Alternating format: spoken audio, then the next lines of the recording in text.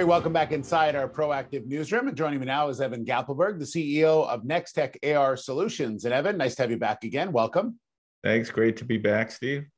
So you've released your uh, preliminary 2021 results, and again, Evan, you've set records once again. So just give me some overall thoughts on the numbers. Yeah, we feel really good about uh, our 12-month 2021 numbers. Uh, we experienced uh, strong growth uh, in our revenue which is uh, evident by it being up 47% in a pretty turbulent year, I might add. 2021 was not an easy year to navigate with the uh, pandemic ending. Um, there was definitely some cross currents in the economy. But if you look at Nextech um, and you think about Nextech as we go forward into 2022, the key piece in the, the report was our recurring revenue that in 2021, uh, really in Q4, we pivoted our business model to uh, monthly recurring revenue, which ultimately is annual recurring revenue, which is the new metric that we're using to uh, measure the growth of our business. So we have some legacy revenue uh, from our e-commerce business, but then we have the 3D modeling factory and the augmented reality revenue which really just started in Q4, which is the annual recurring revenue stream that we're building.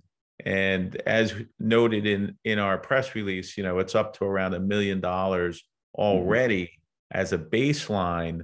And we expect that, and we're actually seeing that continue very, very strongly in January and February. And we expect that to continue into March as we report our Q1 numbers.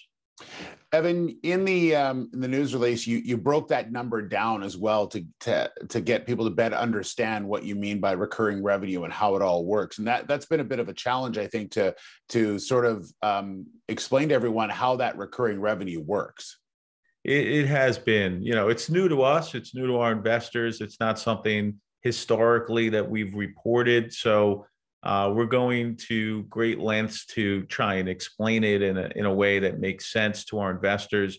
I think the key is is we saw a 316% increase in our renewable software license revenue uh, over 2020. And as we look at 2022, because everything we're talking about is rear view, we're seeing a continuation. We're seeing very strong demand for our 3D models and um, we're expecting that 2022 will be a record breaking year for our revenue overall as a company. But most importantly, we will experience rapid growth, and we're experiencing rapid growth right now in our renewable software license revenue, our annual recurring revenue. And that is really the future of our business. Yeah. And, and, lastly, Evan, just uh, are, are you seeing um, the demand growing worldwide as well? Is, is that something that people should look for in 2022 also? Absolutely. Um, this is not a North American story. This is a global story. And ultimately, all of this, you know, dovetails back to the metaverse story.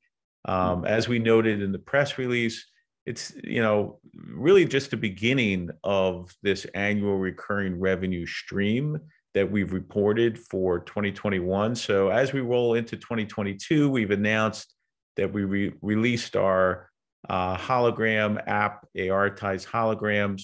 That's another source of recurring revenue.